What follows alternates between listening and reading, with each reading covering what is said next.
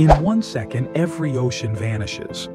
Earth's blue glow disappears, revealing a terrifying alien landscape of deep canyons and towering mountain ranges where water once flowed.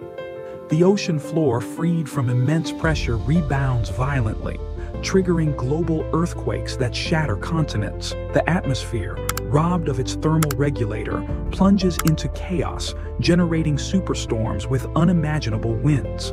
The removed water forms a colossal vapor cloud in the exosphere that instantly freezes, creating a glittering ice shield that reflects sunlight, plunging Earth into immediate and permanent deep freeze. The entire marine biosphere vanishes instantly. Humanity wouldn't drown.